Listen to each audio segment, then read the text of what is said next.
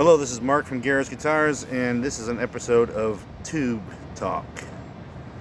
I'm not gonna lie, it's the coldest weekend of the year, 2002, of, of the winter season, uh, in New England, and I'm in San Diego.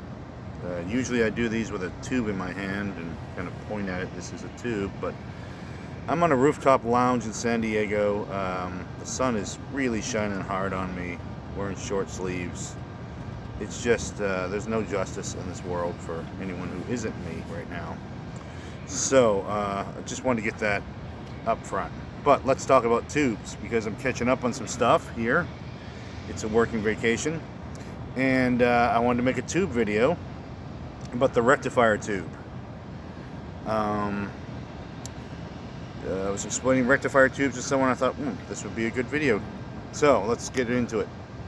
Uh, what is a rectifier tube? Well, you understand that, um, as you understand probably, the, the tubes in your amplifier uh, make your signal louder. So you put in a high impedance, very low signal, and you get out a very low impedance, very powerful signal. But the rectifier tube has a unique place. Um, it uh, and not all amps have a tube rectifier. So let's let's uh, let's get into that too. So the rectifier has a, a unique place because it uh, the audio signal never crosses through the, re the rectifier. The rectifier's job is to turn AC voltage into DC voltage. So AC voltage is great for transmitting power through cities and across you know long distances but is useless to electronics. So whenever you plug something into the wall, there is a transformation of your AC to DC, whether it's your cell phone or whether it's your guitar amp. AC voltage is useless to, um, to electric circuits. So, um, there's two ways to do this. You can do it with a rectifier bridge, uh, a series of diodes that kind of spin the voltage around in a circle until it forgets its AC or the rectifier tube, which kind of takes the voltage in, uh, takes the the pulse out of it. So AC voltage travels because there's a uh, there is a frequency to it. It pulses, and it pushes itself. It pushes the electrons down the line. But in the case of the um, DC voltage, is just a, is a more direct direct current DC. So um, an AC is alternating current. Um, just in case you were wondering. So, what's the end result? What do these uh, two different rectifier circuits do? Well, the people who claim that you must have a tube rectifier, which is 50% of the time it's me, and 50% of the time I'm the person who claims you don't need a tube rectifier because it depends on the amplifier and the sound that you're going for. So I was recently talking about the Princeton amplifier that does have a tube rectifier. And the tube rectifier is responsible for a tonal uniqueness of the amplifier. So, what does it do? I guess um, you can describe its attribute as being spongy. Uh, people like to say it creates uh, more compression in the power stage.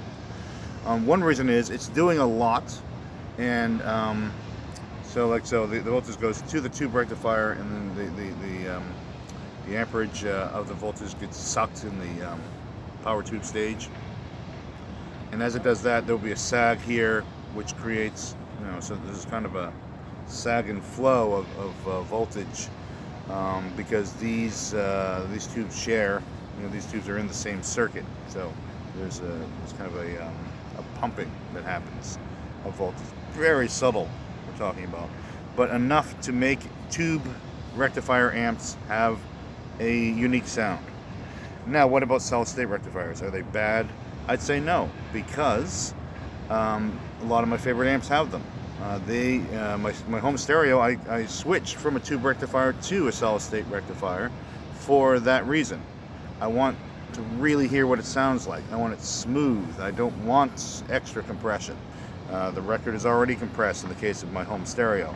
Or your, your guitar is compressed by your output, your preamp tubes like crazy and your output tubes, and uh, you probably have pedals that create compression. Maybe you don't want additional compression in your amp's tone. Maybe you want that loud, clear. The best example is the Fender Twin. Um, the, the, the twin sound that, that that's uh, most famous, you know, kind of the silver face twin or the later black face twin. Um, just uh, brutally honest. So, that's what the uh, solid state rectifier does. So, is one better than the other? No. But, I can highly recommend um, a lot of my favorite amps have the tube rectifier. The um, especially amps with 6v6s with a tube rectifier really seem to have a unique sound that um, that is uh, reliant on that aspect of the circuit. So, spun around a little bit here. Is it good or bad? No. Um, well, yes, it's good. Is it bad to not have one? No, it's, it's all right too. Uh, do you need it? You need it in some circuits to, to create unique sounds. Um, I recommend you have an amp with a tube rectifier. Um, but uh, great amps can also have solid state rectifiers. And uh, also, let's talk about the longevity of the tube rectifier. The, uh, luckily, of all the tubes in your amp, the tube rectifier does its job until it stops doing it. It doesn't have that kind of slow decline that, that a lot of the uh, audio stage uh, tubes will have. So generally speaking, if it works, it works. And do different, can you substitute your tube rectifier? Yes. Do different tube rectifiers have different effects? Yes. Um, so, um, that is uh, that, that throws a little trick in the mix but um, generally speaking stick with the rectifier you've got it probably does a good job um, if you change your tube rectifier it will have a very minimal effect on the uh, on anything if anything so uh, when you go to change your tubes the rectifier can stay uh, great rectifiers are still cheap so if you see them out, and, you know, with the RCA, you know, those great vintage rectifiers for some reason still aren't expensive. So scoop a few up if you have a rectifier-based amp. Um, and uh, I'm going to get back to the hard work here, and uh, we'll talk soon.